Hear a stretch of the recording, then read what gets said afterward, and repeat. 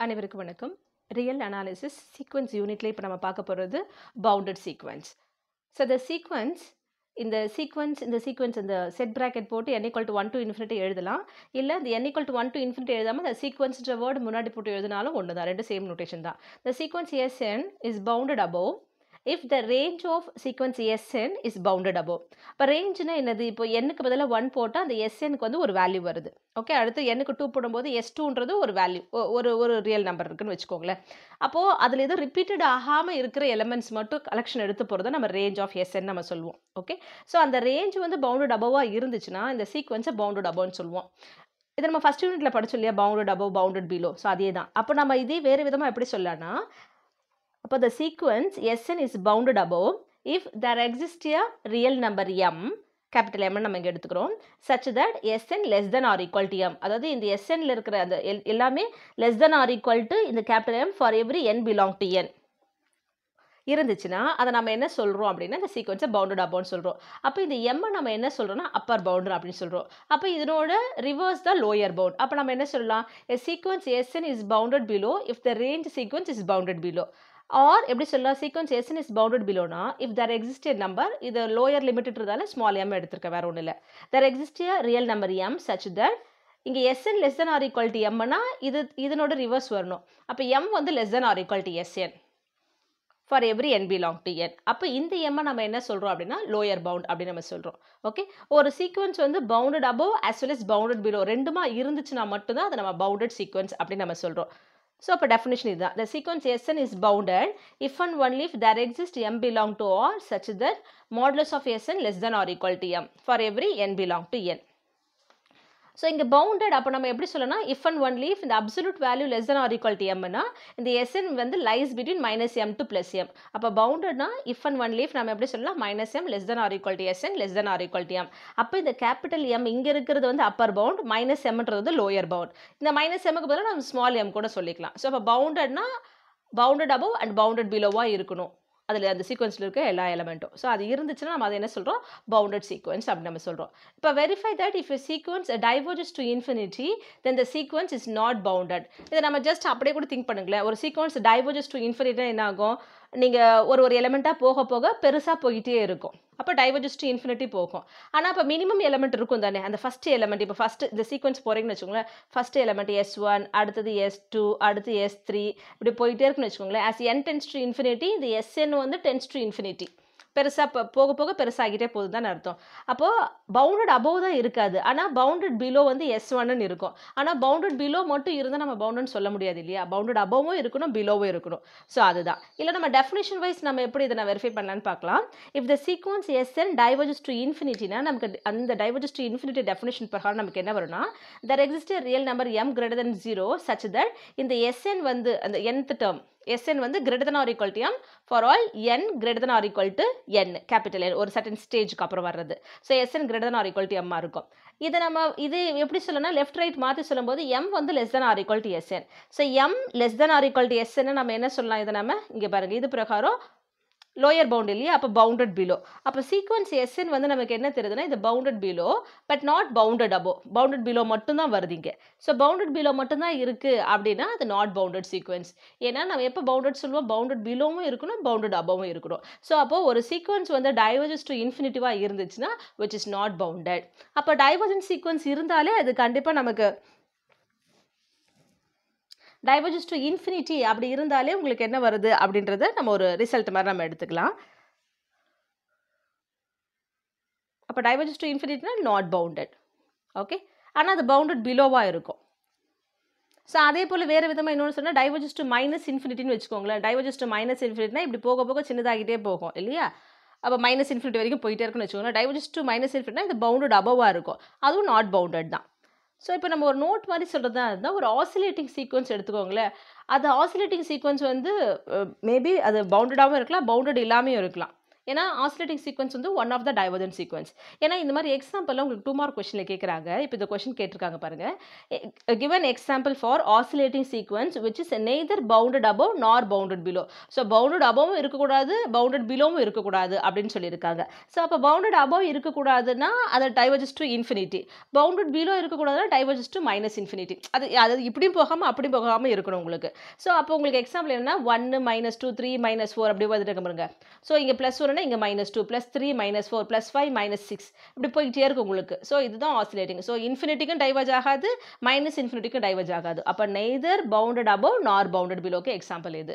So example for oscillating and bounded sequence oscillating sequence தான் பாருங்கள் ஆடு வரும்போது ஒன்னாக இருக்கும் ஈவன் வரும்போது மைனஸ் ஒன்னாக இருக்கும். ஸோ ஒன் மைனஸ் ஒன் இப்படி தான் போய் போய் உங்களுக்கு ஆசிலேட் ஆகிட்டே இருக்கும். But this is the bounded sequence ஏன்னா இதனோட ரேஞ்ச் செட்டுன்னு மட்டும் நம்ம எடுக்கிறோம்னு வச்சுக்கோங்களேன். Range of this oscillating sequence சொல்லும்போது ப்ளஸ் ஒன் மைனஸ் ஒன் இது ரெண்டு மட்டும் தான் வரும். ஓகே ஸோ இது வந்து பவுண்டட் சீக்வன்ஸ் ஏன்னா அப்பர் பவுண்ட் வந்து ஒன்று லோயர் பவுண்ட் வந்து மைனஸ் ஒன் ஸோ இது oscillating sequence as well as bounded sequence அதே போல் oscillating sequence but but oscillating சீக்வன்ஸ்க்கு ஒரு எக்ஸாம்பிள் இது பவுண்டட் பிலோவாக இருக்கணும் பட் நாட் பவுண்டட் அபோ அப்போ இது என்ன வரும் பாருங்க? One two one three one four அப்போ இதனோட ரேஞ்ச் செட்டு நம்ம எழுதும்போது ஒன் வந்து ரிப்பீட் அடிக்கடி வந்துக்கிட்டே இருக்குது ஸோ ரிப்பீட் ஆகாமல் இருக்கிற எலமெண்ட் எழுதுறது தான் நமக்கு ரேஞ்ச் செட் அப்போ one two three four etcetera போயிட்டே இருக்கும்.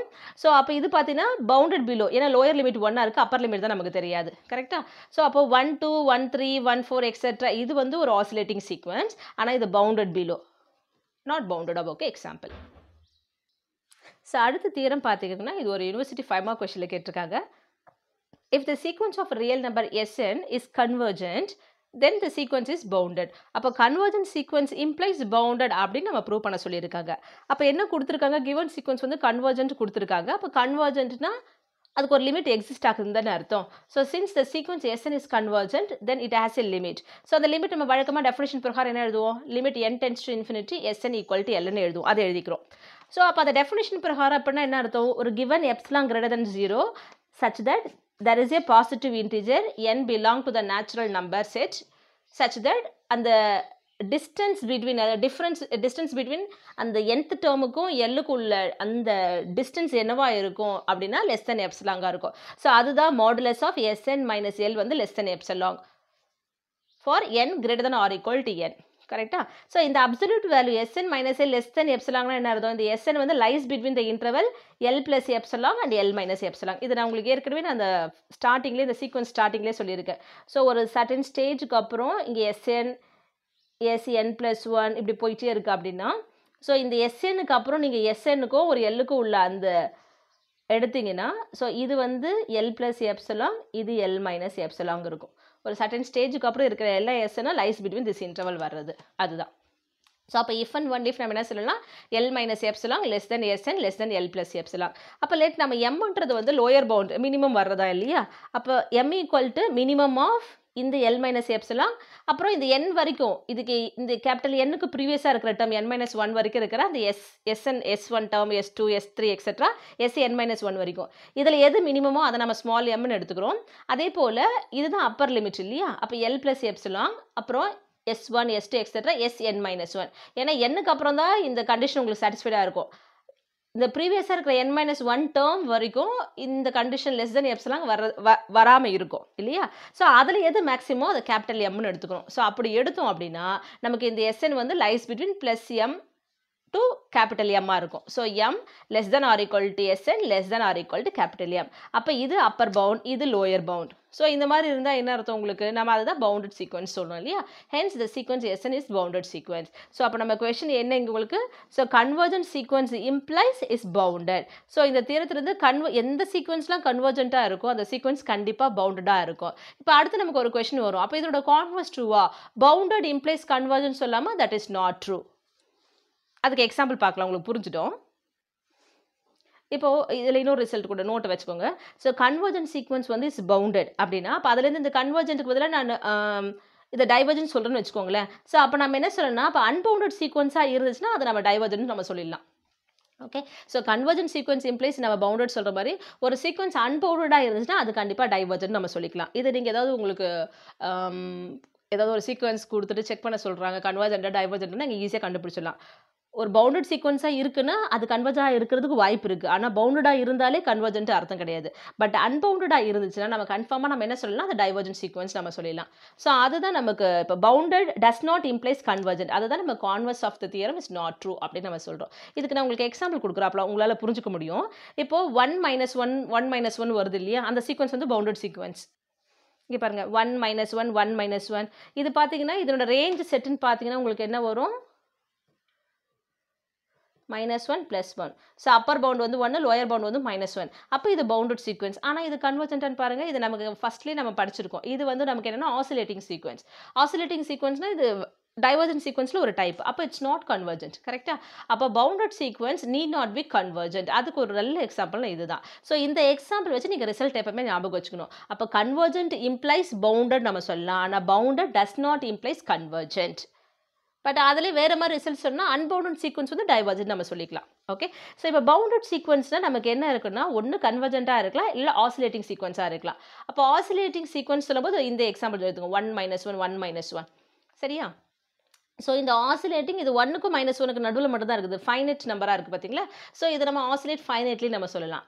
இதுவே அன்பவுண்டட் சீக்வன்ஸாக இருந்துச்சுன்னா அன்பவுண்டட் சீக்வன்ஸ்னால் மேபி அது டைவர்ஜஸ் டு ப்ளஸ் இன்ஃபினிட்டியாக இருக்கலாம் இல்லைனா டைவர்ஜஸ் டு மைனஸ் இன்ஃபினிட்டியாக இருக்கலாம். இல்லை ஆசிலேட்டிங் இன்ஃபைனைட்லி அது ஆசிலேட்டிங் இன்ஃபைனைட்ல ப்ளஸ் இன்ஃபினிட்டிக்கு போகாது மைனஸ் இன்ஃபினிட்டிக்கும் போகாமல் இருக்கும் பார்த்தீங்களா அது. ஸோ அப்போ ஒரு சீக்வன்ஸில் இந்த அஞ்சு கேட்டகரிக்குள்ளே தான் வர முடியும். ஸோ அப்போ பவுண்டட் சீக்வன்ஸ்னால் அது ஒன்று கன்வர்ஜென்ட்டாக இருக்கலாம் இல்லை ஆசிலேட் ஃபைனட்லியாக இருக்கலாம். ஓகே ஸோ அன்பவுண்டட் சீக்வன்ஸ் இருந்தால் கண்டிப்பாக அது டைவர்ஜென்ட் தான். அப்போ மூணு டைப் ஆஃப் டைவர்ஜென்ட் இருக்கு இல்லையா? Diverge to plus infinity diverge to minus infinity and oscillate oscillate தான் ரெண்டு கேட்டகரியாக பிரிக்கிறோம். ஒன்று ஆசிலேட் டு ஃபைனட்லி அதாவது இந்த மாதிரி ஒன் மைனஸ் ஒன் இந்த மாதிரி போடுறது. ஓகே இதே போல் நீங்கள் ஜீரோ டூ கூட சொல்லலாம். Zero comma two comma zero comma two comma இப்படி போட்டதால இதுவும் ஆசிலேட்டிங் சீக்வன்ஸ் தான். அப்போ in between zero and two தான் ஆசிலேட் ஆகிட்டு இருக்கும். இதுவும் ஆசிலேட் ஃபைனட்லி தான். ஓகே பட் ஆசிலேட் இன்ஃபைனைட்லி அப்படின்னு நம்ம சொல்லும்போது இந்த இந்த சீக்வன்ஸ் எடுத்துக்கோங்க.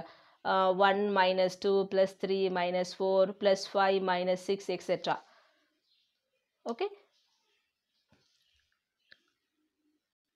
so இப்போ உங்களுக்கு புரிஞ்சிருக்கும் இல்லையா? ரைட் இப்போது இது ஏதாவது ஒன் வேர்ட் கொஷினுக்கோ இல்லை சில டைம் ஏதாவது கேட்கறதுக்கு இன்னும் கொஞ்சம் கான்செப்ட் புரிஞ்சுக்கிறதுக்காக இந்த விஷயங்கள் இந்த remarks a sequence with either diverge to infinity or minus infinity எது டைவர்ஜ் டு இன்ஃபினிட்டியோ இல்லை டைவர்ஜ் டு மைனஸ் இன்ஃபினிட்டியோ போச்சுன்னா அது கெனாட் பி பவுண்டட் ஓகே ஏன்னா டைவர்ஜ் டு இன்ஃபினிட்டி போச்சுன்னா அப்பர் பவுண்டு கிடையாது. அப்போ பவுண்டட் பிலோ மட்டும்தான் இருக்கும். கரெக்டாக அதே போல் டைவர்ஜ் டு மைனஸ் இன்ஃபினிட்டி சொன்னீங்கன்னா இதுக்கு லோயர் பவுண்டு கிடையாது. அப்பர் பவுண்டு மட்டும் தான் இருக்கும். அப்போ பவுண்டட் அபவ் மட்டும் தான் இருக்கும்.